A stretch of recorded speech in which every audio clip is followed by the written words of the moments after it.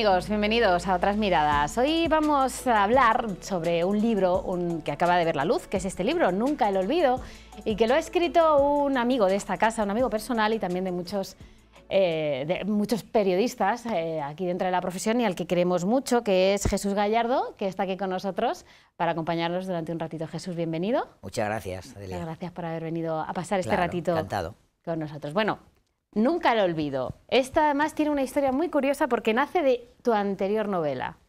Sí, bueno, el anterior libro era un libro de relatos que se titulaba Los ángeles tienen corbata y el relato más largo que daba título al, libro, eh, Los ángeles tienen corbata, es el inicio de esta novela. era la historia de una chica que es engañada, la traen desde Rumanía engañada, la prostituyen y la esclavizan.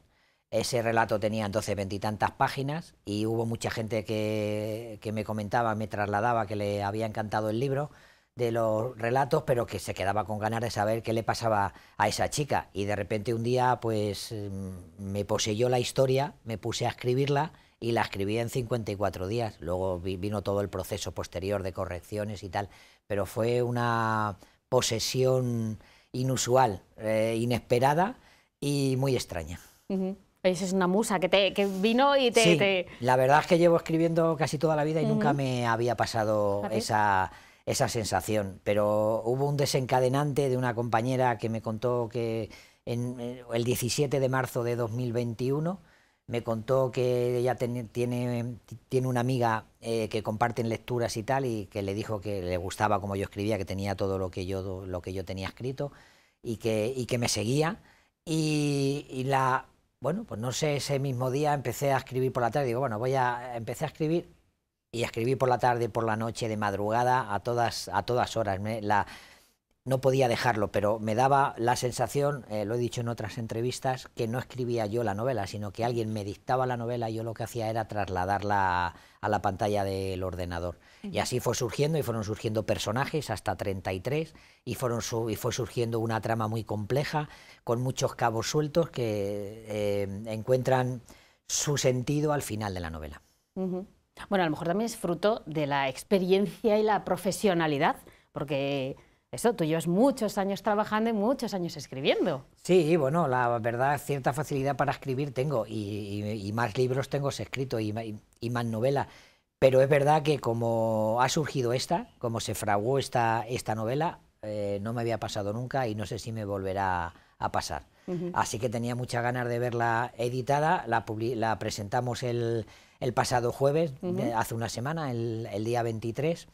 Y desde entonces pues ya ha habido mucha gente que la, que la ha leído y la ha devorado, según me han contado, ha empezado a leerla y no ha podido dejarla porque es, eh, me comentan que es muy adictiva en cuanto a, lo que es, a lo que pasa, a lo que sucede, a los personajes. Así que bueno, muy contento con el resultado. Yo me acuerdo comentando esto contigo, pues en muchas ocasiones que nos vemos, pues por, por, el trabajo, eh, eh, que, estabas fascinado de eso, de lo que tú me dices, de, que, de, cómo salió, de, de, qué ha pasado, que, me he puesto con ello y, estoy volando. Sí, a ti te lo, es verdad, te lo he transmitido muchas veces, porque es que yo mismo estaba, estaba eh, sorprendido. De, de hecho, cuando yo acabé la novela, porque para escribir una novela de esta es casi necesario, casi obligado guionarla previamente por los personajes, por las tramas, por toda la cosa que pasa y eso no, no, no ocurrió. Empecé a escribirla, empecé a escribirla hasta que la acabé. En como digo, empecé el 17 de marzo de 2021 y acabé el 9 de mayo del, del mismo año, 54 días. Eh, pero obsesionado, ya te digo, escribiendo por la noche, levantándome a las 2 de la mañana, a las 3, poniéndome a escribir y directamente me iba a trabajar, era, era una cosa muy obsesiva. Y, al final, eh, cuando yo la acabé, dije, esto seguro que no tiene sentido, porque tantos personajes, tantas tramas, tantas cosas que pasan en la novela, porque es una sucesión de, de, de hechos muy trascendentales para el desarrollo del argumento, y pensé que no iba a tener ningún sentido. La releí y con muy pequeñas matizaciones vi que sí, que tenía todo sentido, pero aún así eh, decidí dejársela a algunas personas, cinco, seis, siete personas con criterio literario que escriben también, que son escritores o, o, periodistas, gente, la, mi familia, para que me dieran su opinión y todos me dieron la misma opinión, que les parecía maravillosa. Así que bueno. Pues así, así ha, ha nacido, nunca lo olvido. Ha nacido, nunca lo olvido. bueno, yo eh, eh, me lo he empezado, llevo poquito. Es verdad que, habiendo leído ya el anterior, el de relatos, sí que conocía la historia de Daniela, pero es verdad que es una historia muy dura. Empieza ya a notarse la crudeza más allá de ese pequeño relato que, escribías en, tu anterior novela, bueno, en tu anterior libro. Y a lo mejor es que te estaba bulliendo también este, esta, eh, es porque es una crítica obviamente, una denuncia a todo el tema de la prostitución, el proxenetismo, la trata de mujeres. Sí. la verdad es que el tema es un tema mm, eh, muy proceloso, muy oscuro, muy mm. fangoso, porque lo que se es una novela muy documentada, eso sí, y, tratada y escrita con mucho respeto por el, sobre todo eh, hacia las mujeres que sufren este este negocio de las mafias, de la prostitución, el prosenetismo, y, la, y, hay escenas realmente duras que te remueven por dentro, pero es que eso, eso lo, es lo que pasa. Eh, yo daba estos días también unos, unos datos que me parecen escalofriantes, y es que, por ejemplo, eh, según la ONU, el, el segundo negocio más lucrativo del mundo es la prostitución. Y esto te genera una reflexión inmediata y es cuál es el primero. Pues el primero es la trata de personas y los dos están íntimamente ligados. Y mueven al año, teniendo en cuenta que son negocios muy invisibles, pero la ONU estima que mueven al año como unos 108 mil millones de dólares. Solo en España se calcula que entre 3.700 y 5.000 millones. Y, por ejemplo, eh, según el Instituto, el Instituto Nacional de Estadística, eh, la prostitución en España eh, ocupa el 0,35% del Producto Interior Bruto, que es una verdadera pasada, una barbaridad. Y, bueno, pues por ejemplo, yo escuchaba hace poco un, comentario de, mm, la directora de APRAM, que es una asociación que se dedica a salvar a estas chicas que están prostituidas, esclavizadas, maltratadas y tal, y comentaba que es que lo que, de algún modo permitimos que haya campos de concentración pequeños en nuestro país, al lado de nuestras carreteras, que son esos clubes de alterne, en los que muchas de estas chicas están, las han traído engañadas y están retenidas contra su voluntad, están amenazadas, están, las violan, las someten, las sojuzgan, en fin, es, es un mundo muy oscuro. Entonces creo que aparte de que es una novela de ficción y que es una novela interesante, me parece que es una novela necesaria para visibilizar este, este problema contra las mujeres y este atentado contra la, contra la libertad de las mujeres que son sometidas y son esclavizadas para prostituirlas. Con esas cifras que dices, sobre todo del Proyecto Interior Bruto, que genera eh, este es un negocio ilegal porque el proxenetismo es un delito. Eh, eh, llama mucho la atención que, y además generando tantísimo dinero eh, es muy difícil acabar con ello. Pues sí, yo creo que es prácticamente imposible porque hay demasiados grupos de presión y demasiados lobbies interesados en que siga, en que siga activo. Ahora mismo es un, es un asunto de candente actualidad en, la, en el Congreso de los diputados de, eh, entre los propios socios del gobierno, el Partido Socialista y Podemos, hay desavenencias eh, de cómo regular esto, pero yo creo que es prácticamente imposible, es que hay, eh, se mueve demasiado dinero. Por ejemplo, pensemos que casi todos en algún momento dado pasamos por alguna rotonda donde hay una de estas mujeres ofreciendo su cuerpo y pasamos un día y otro día y una semana y, otra semana y un mes y otro mes y siguen, y siguen estando en el mismo sitio. Y yo me pregunto por qué no se hace nada contra, contra esto. Habrá mujeres que quieran eh, ejercer esta, esta profesión, si podemos llamarla así, libremente, y contra eso no hay nada que objetar. El problema es que eh, se utiliza la trata de mujeres con fines de explotación sexual en contra de su voluntad, que les vienen engañadas. Mi protagonista viene desde, la protagonista de Nunca el Olvido viene desde Rumanía. Eh, pero Rumanía en los últimos años ha dejado de ser eh, origen de, estas tratas porque el nivel de vida y la renta per cápita en Rumanía ha aumentado. Entonces se ha trasladado principalmente a, Sudamérica y desde ahí vienen, vienen muchas, muchas mujeres. Pero sigue existiendo y sigue y, es realmente. Entonces a estas mujeres se las somete no solo desde el punto de vista físico, con, con palizas, con maltrato, con violaciones para que ejerza, claro, porque si nos ponemos en el, en el, en el lugar de una mujer que viene engañada pensando que viene para trabajar en una casa doméstica o de camarera o de otra cosa, y la, y la meten en un garito de estos y la dicen que tienen que prostituirse, la primera reacción es rebelarse.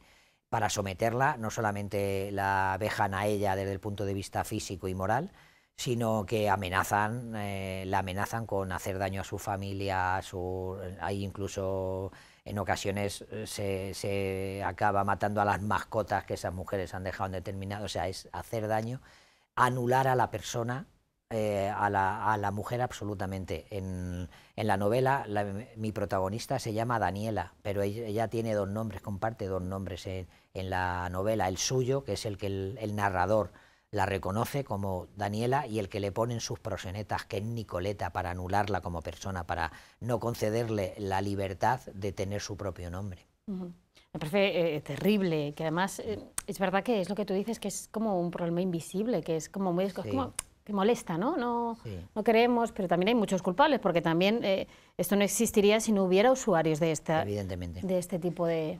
Mientras haya demanda, hay negocio. Yo decía hace poco también en una entrevista que mientras haya puteros habrá prostitución.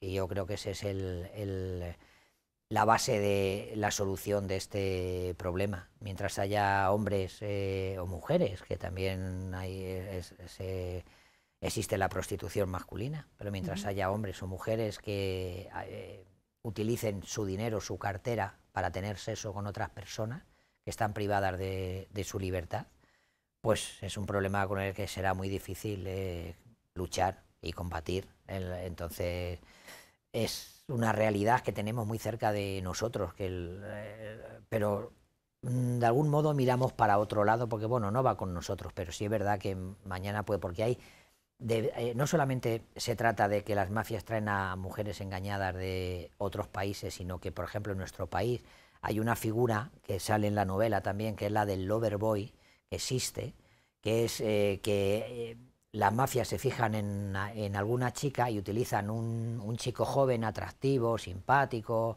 majo y tal, para entablar una, esa amistad con esa chica, pero establecer una relación de pareja y que incluso a veces puede durar meses o puede durar incluso años. llegan a, a, ganarse la confianza de la familia, asistiendo a sus comuniones, a sus bodas, a su tal, y en un momento dado se van de viaje la pareja a un determinado destino y ya no se sabe nada más del chico ni se sabe nada más de la chica. Y eso es una realidad que, a mí eso me, crea mm, verdadero... Sí, claro, pero, eso, pero esto es una realidad. Mira, la, el otro día, vamos, a, durante la documentación de la novela y tal, pues escuchaba unos datos de, de una teniente de la Guardia Civil que, eh, que, se dedica, tienen un grupo operativo que se dedican a salvar a estas mujeres.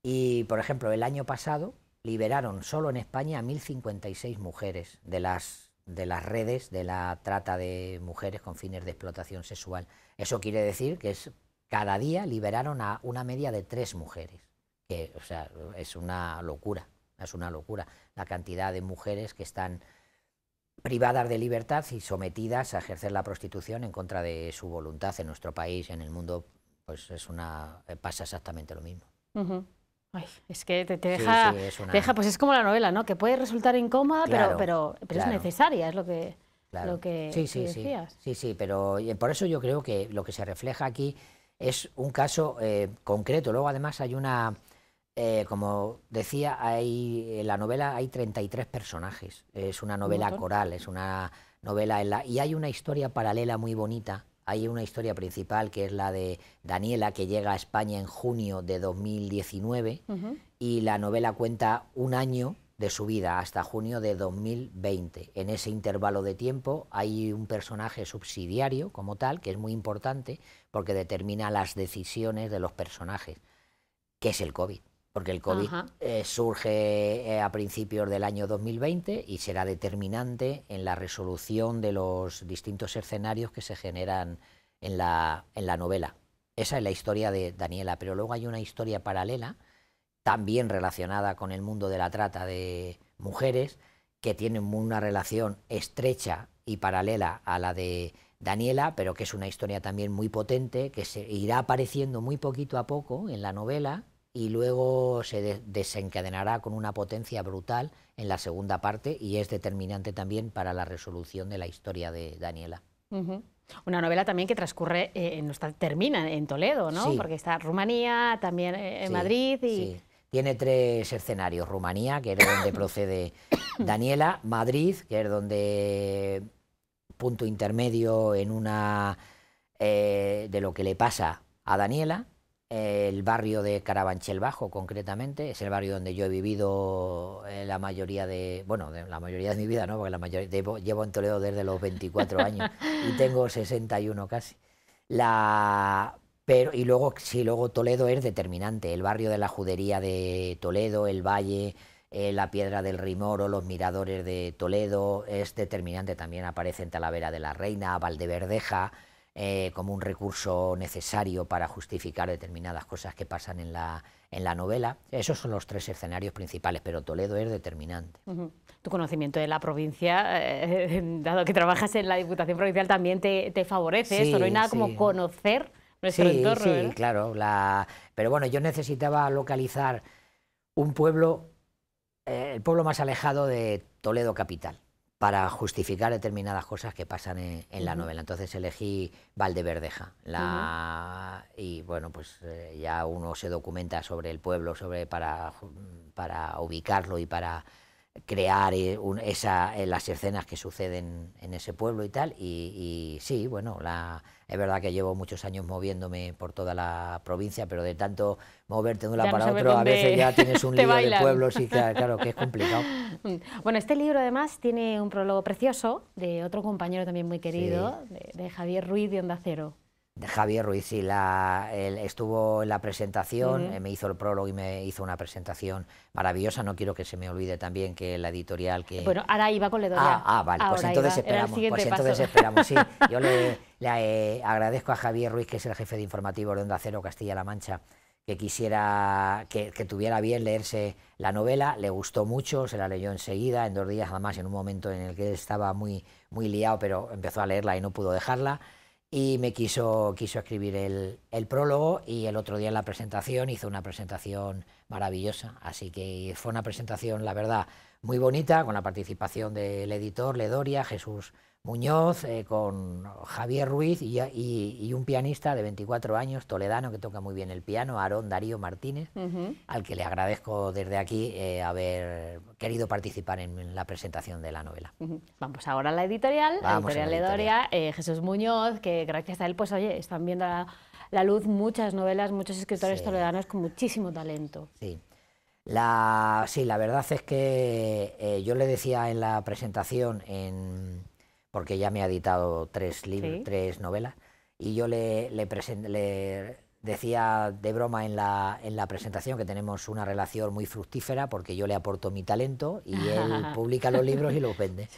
Entonces, claro, maravilloso. Pero sí, se lo, yo creo que, yo se lo agradezco personalmente, pero creo que se lo tiene que agradecer toda la provincia, porque lleva 28 años editando libros en esta, en esta provincia de, diversas temáticas, sobre todo de investigación toledana y tal, y, ya llega, ya tiene como 600 títulos publicados, entonces creo que eso quizás ahora no, no lo reconozcamos con todo el valor que tiene, pero con el paso de los años, desde luego, habrá dejado una impronta en cuanto a edición de libros y de la historia de Toledo y de apoyo a los escritores y a las escritoras toledanas, a muy, muy a tener en cuenta. Y creo que en algún momento se lo tendrán que reconocer quien corresponda, pero creo que se, que se lo merece. Además, en unos tiempos que, en el que editar libros, incluso escribirlos, tampoco es algo eh, que, se reconozca tanto o que sea lucrativo, al fin y al cabo. Sí, no, no, no, desde luego no nos hacemos ricos con, los libros ni con las novelas. Esto es eh, una, una, afición que tenemos. Eh, a mí me, me, gusta mucho contar cosas y me gusta que se, que, se puedan ver editadas, que, estén editadas con calidad, con, con rigor y y que lleguen a la gente y que la gente lo lea y que podáis leer estas historias y que luego podáis comentar, pues me ha gustado o no me, o no me ha gustado. Yo la verdad que con esta novela tengo tenía muchísima confianza y ya por las primeras impresiones que me están llegando de la gente lo están confirmando Pero tanto es así que yo en los agradecimientos he puesto mi correo electrónico personal. ahora también, sí, me lees la mente, me lees la mente, me, han leído las preguntas. Porque no es algo común poner tu mm, email. Sí, no, no es común, pero yo, pues, porque es que es verdad que cuando tú escribes un libro o una novela y tú lo editas, es como si tú tienes un hijo, le abres la puerta de tu casa y le echas y ya no sabes nada más de él. Entonces, yo quería mantener esa interacción entre el lector o lectora y entre el autor en este caso y que bueno pues que cuando lo lean me puedan eh, me puedan mandar al correo pues sus impresiones sean buenas malas negativas lo que sea yo intentaré responder a todo el mundo que me que me escriba y mantener esa, esa relación y para mí será muy importante y, me ayudará a mejorar en, mi escritura y en futuros proyectos así que en eso eso estoy esperando. ¿Has recibido ya ese feedback de alguien? Eh, no, todavía no, todavía no, no, no, Todavía no. La ha pasado poco tiempo también, porque. pero todavía no, pero espero que, que, alguien se atreva a mandarme algún correo. Ahí está puesto, así que el que quiera puede hacerlo. Bueno, además eh, nos has hablado de los, esos futuros proyectos, porque claro, alguien que le gusta tanto escribir eh, no puede mantenerse quieto. Yo creo que de aquí puede salir otro, va a pasar como, como Los Ángeles ya Corbata. Puede ser, puede ser. Hay, hay, gente que, que, ya, que ya me ha comentado que la, la historia de, de, esa historia paralela que aparece, que va apareciendo poco a poco en la, en la novela, eh, que eso tiene otra, otra historia, otra, otra novela. Bueno, siempre tengo proyectos que están pululando y tal, lo que pasa que es muy complicado porque con nuestro trabajo como periodistas, tú sabes, ocupamos, echamos muchas horas, tenemos y una novela eh, necesita una continuidad narrativa y de, y de trabajo para que para que tenga sentido, porque si no una novela no puedes escribir una página hoy y otra dentro de una semana porque lo notas tú y lo nota y lo notará el lector. Ahí necesita de un trabajo intenso y, continuado en el tiempo. Y eso a veces pues no lo tenemos. Eh, si me viene la musa como me vino con esta, pues volveré a no dormir por la noche y, y escribiré y me pondré a escribir otra vez. no lo sé. Claro, porque en proceso creativo la gente se piensa que uno se pone delante del ordenador y empieza no, pin, pin, pin, tan No, además, mira, hay una cosa muy curiosa y es que, por ejemplo, durante la pandemia, estuvimos tres meses confinados, y aunque, bueno, tuvimos trabajo porque teníamos que informar de determinadas cosas, pero es verdad que tenías tiempo que tenías para escribir y, sin embargo, las condiciones no eran las, las más apropiadas y no pude escribir nada. Y yo decía, pues ahora, ahora que puedo, ahora que tengo tiempo, puedo escribir, que tengo horas libres y, no pude escribir nada. ¿no? Pues, sin embargo, luego, pues fíjate cómo surgió esta, esta novela con, esa forma tan posesiva y tan fuerte y tan potente. Y, bueno, pues eh, a veces, aparte que yo sí que es verdad que soy eh, un escritor en minúscula, pero un escritor eh, muy metódico, que cuando me pongo a escribir, me pongo delante del ordenador, y más o menos salen cosas, pero es verdad que a veces escribes cosas que no valen, escribes cosas que te gustan y te das cuenta que lo que has escrito anteriormente no vale para nada.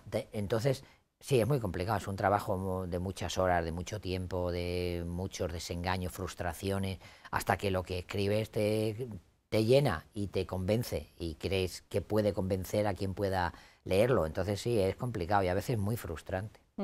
Siempre, esto es eh, en muchas entrevistas con escritores, eh, eh, siempre es un punto en común, ¿no? Para ser escritor hay que escribir mucho. Sí, muchísimo. Sí, claro. Hay, Esto no sale así por... Tienes que escribir mucho y seleccionar lo, que, de lo que escribes, lo que vale, lo que no vale, lo que te gusta, lo que no, lo que no te gusta, lo que a veces inicias un proyecto y lo dejas porque eres incapaz de seguir avanzando en él. Eh, a veces surgen como surgen de forma brutal y y, son ellos los que te dominan a ti y no tú dominas el proyecto. Entonces, bueno, la, es una relación de amor-odio entre el papel y tú que se mantiene ahí permanentemente. El otro día hablando con María Antonia Ricas nos decía que, bueno, que ella escribe, la poesía le sale sola, que le cuesta más hacer, eh, escribir en prosa. Eh, eh, ¿Tú te atreverías con la poesía?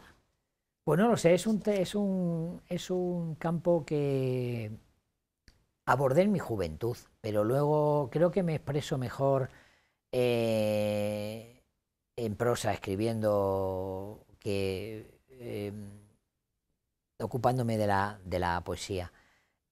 No es un, no es un campo que me, no que no me atraiga, porque sí que me atrae, pero me encuentro más cómodo escribiendo literatura, escribiendo, la, poesía también es literatura, pero escribiendo prosa, escribiendo, contando historias. Me gusta contar historias, ya sean pequeñas, en relatos o historias más largas, como esta, porque al final generas em, un escenario, por ejemplo, esta, esta novela, es, eh, la gente que se la, que se la lea va a ver que es una novela muy cinematográfica va a ver que es una novela, em, además me lo ha dicho mucha gente ya, dice, yo he visto una película ahí o he visto una serie y digo, pues sí, efectivamente, porque además está estructurada un poco de ese, de ese modo, ¿no? Y con todos los personajes, con todas las situaciones, con todas las cosas que van aconteciendo, es eh, realmente así. Y a mí eso es lo que me gusta, a mí, que la gente pueda leer esta historia y se cree su propio universo de la historia eh, que mm, imagine a, a, los, a los personajes que pueden estar descritos, pero que, que, ella mismo se lo, se lo imagine, que vea esos escenarios que yo quiero contar, que vea, en fin, la, la, hay realmente cosas muy bonitas, en la, hay cosas muy fuertes, como ya hemos comentado, y hay cosas muy bonitas, y hay durante toda la novela lo que mm, mm, existe es esperanza porque hay dolor, hay sufrimiento y tal, pero también hay esperanza. Mm. Y entonces eso es lo que me, gusta compartir con la, con la gente. Es verdad que con la poesía compartes emociones, compartes sentimientos, compartes... Pero yo creo que quizás en la poesía de una forma más intensa, más inmediata, más tal, pero bueno, a mí me gusta, me gusta escribir historias y contarlas. ¿Y leerlas? ¿Qué estás leyendo? Y leerlas también, claro. ¿Qué es lo último que estás leyendo, Carlos? Pues ahora mismo estoy leyendo Las Madres de Carmen Mola. Ah. Ahora es lo que estoy. Yo lo tengo ahí también todavía. el Espera, último, sí, porque se me van acumulando. eso es lo que estoy leyendo ahora mismo. Muy duro también, ¿eh? eh Carmen Mola. Sí, Tela, ¿eh? Sí, sí, sí, es. Pues mira, precisamente, como estoy leyendo esa novela, hay una parte, bueno, no quiero desvelar nada a nadie, pero hay una parte de esa novela que tiene mucha relación con esta. Mm. Y, cuando lo estaba leyendo digo, joder, pero si esto parece que es mi novela, determinadas cosas, porque sí también se trata, hay, hay, un, hay un, una historia paralela a la principal de trata de mujeres y tal, y entonces encontraba muchas similitudes con esta, mm. con esta novela. Yo lo pasé mal con las anteriores de Carmen Bola. Sí, porque son, son, son fuertes, la verdad. Pues espero también tener ese sentimiento. Yo prefiero esa sensación leyendo un libro que miedo. Fíjate, yo todavía la lectura de terror, fíjate que hemos tenido aquí a David Luna y le he prometido que me voy a leer sus novelas de miedo, pero es que me resisto, no puedo, no puedo. Hay que atreverse, hay que atreverse a todo. hay que atreverse a todo, todo tiene su lado positivo, seguro. Bueno, pues Jesús, muchísimas gracias por habernos acompañado en este ratito que hemos tenido. Eh, te esperamos aquí para el próximo lanzamiento, que Cuando no tengo la menor duda de, que, será muy pronto. Muchas gracias a vosotros por invitarme y poder trasladar a la gente que vea el programa pues la, una, el lanzamiento de esta novela, que seguro no les va a defraudar mm. si deciden adentrarse en ella. Bueno, yo desde aquí la recomiendo también. Yo acabo de empezarla, pero ya tengo ganas de esa lectura nocturna, esos ratitos. De ver lo que pasa. Sí, sí, sí, sí. Eh, pero, yo es que necesito dormir. Es adictiva, es adictiva. Muchas gracias. Nada, a vosotros. Bueno amigos, y hasta aquí nuestro programa de hoy. Les esperamos la próxima semana.